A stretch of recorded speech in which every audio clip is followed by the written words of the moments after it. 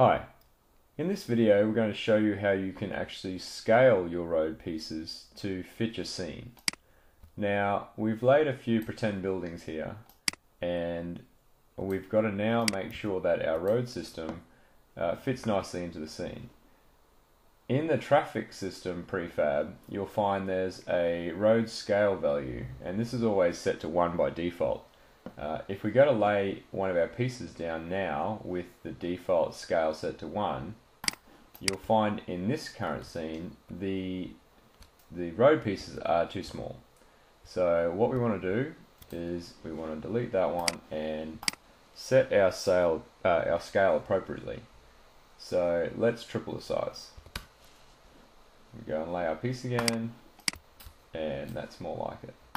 Now that will stay constant throughout the building of your road so you can continue to lay more pieces down at that particular scale. Uh, make sure you do this at the very start when you're creating your traffic system uh, because you won't want to go back through and edit it all later. So set the scale at the start before you begin.